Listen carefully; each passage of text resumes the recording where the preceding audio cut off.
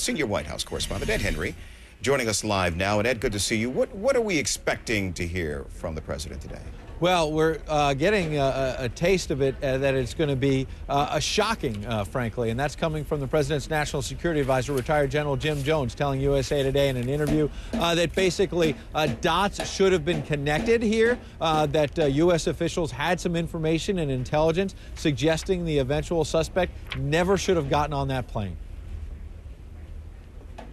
I think there's a certain shock to it in the sense that, you know, the man in the street will say, will will will will be surprised that you know th- these correlations weren't made mm-hmm. because the, the, there was there was data out there. There was a number of things that could have triggered uh, a prevention of this individual ever getting on an airplane.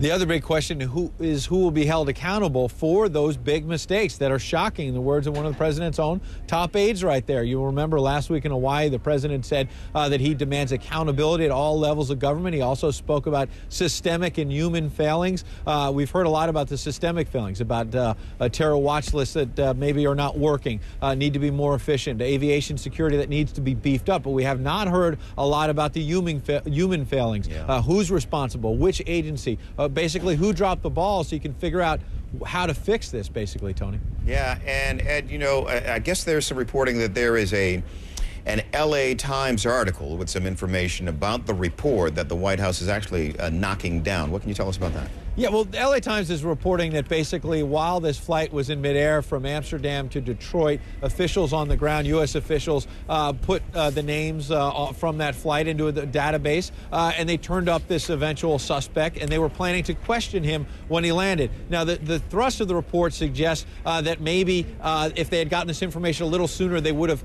kept him off the plane. It would have been a dramatic way to stop all of this. What the White House is knocking down is the notion that they could have stopped it. They say the problem here uh, is they already know uh, that he was in a broad database, but the problem is that he was not on a more select no-fly list. That's what needs to be fixed. Because even if this information had gotten to the airline officials earlier, they had no specific intelligence or anything to keep him off the plane. That's one of the things things that needs to be fixed. And as you noted, one of the things we're expecting to come in this report yeah. today. What exactly went, went, went wrong there, Tony? All right, our senior White House correspondent Ed Henry for us. I appreciate it. Thank you, and see you next hour.